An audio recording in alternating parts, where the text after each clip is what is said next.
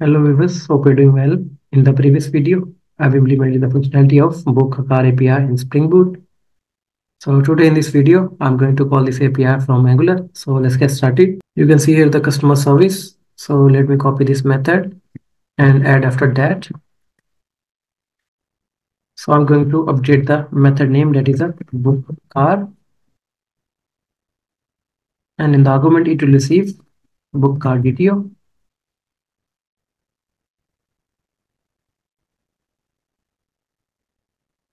that is the type of any and here we need to pass. Book card DTO and the mapping it will be a post. And here we need to pass the URL of the API that is a slash API slash customer slash car slash book. So let's save this. Let me close this. Let's go to our book component.ts and here I'm going to initialize variable that is a validate form and it will be a from form group. So in the ng on init, I'm going to initialize a ready form. So it will be a validate form is equals to let me inject here form builder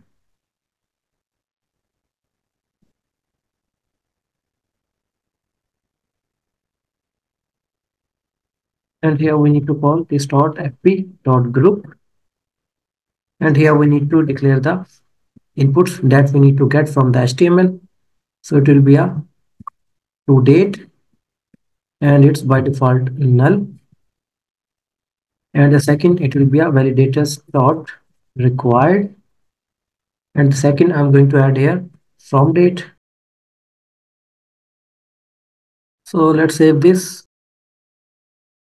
and here I'm going to create method that is a book a car. So in the argument, it will receive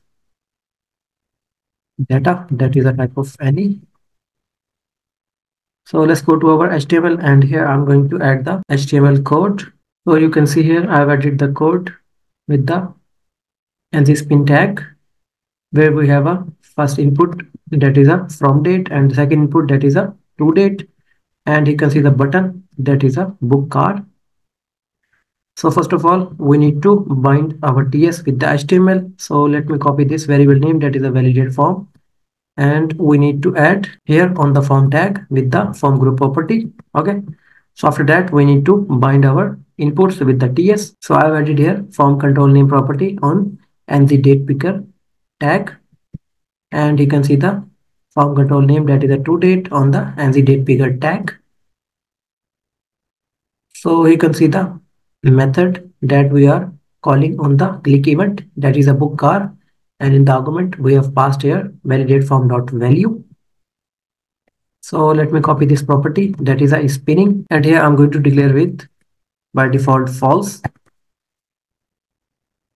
So let's go to our UI and you can see here we are getting an error that is a form group since is not a known property of form. So let's go to our customer module.ts and here I'm going to inject reactive forms module. And the second we need to add here forms module. After that we need to add the property in our bookcar component.ts that is a date format. And it will be a day, month and the year so here in this method, I'm going to add console.log to print the values into our console. So let me add here data. Let's save this. So let me enter the from date and the to date that is the 30th December. Let's click on this book card button and you can see we got the value from the input that is a to date and the from date. So we need to pass this data to our backend to book the car. So here I'm going to call this dot is spinning and I'm going to make it true. And after that, we need to create an object that is a book a car DTO. And here we need to set that is a to date and we will get to date from data dot to date. After that we need to set here from date. And we will get from date from data dot from date. After that we need to set here the user id so we will get user id from our local storage. So let me check what is the name of our local storage that is a storage service. Storage service dot get user id let's go to our storage service.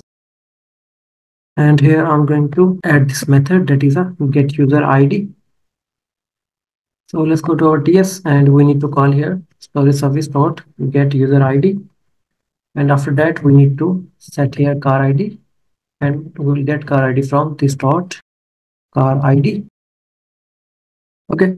So after that we need to call here our service and the method that is a book a card. And here we need to pass book a card dto let's subscribe this.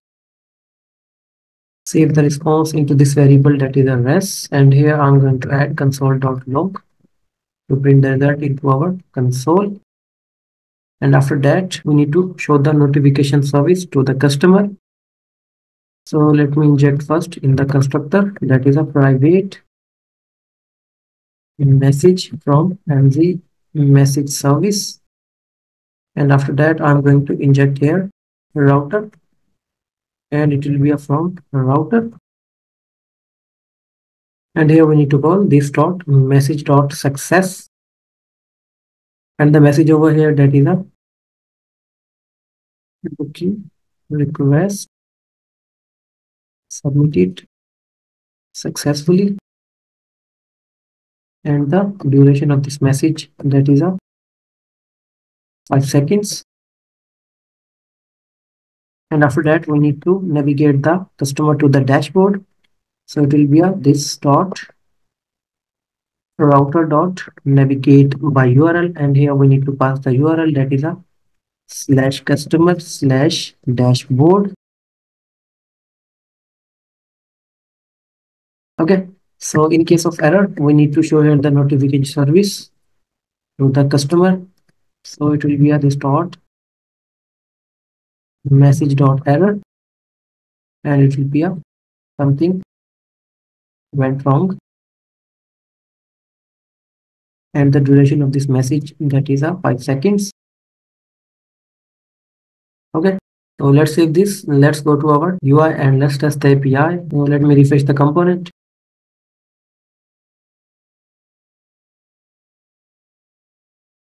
let's click on this book card button. And you can see here booking request submitted successfully. And it's navigate us to the customer dashboard. So that's all for now from my side. I hope you like this video. If you have any confusion you can do comment and also subscribe to my channel for more videos and hit the bell icon. Thanks for watching. Take care. Bye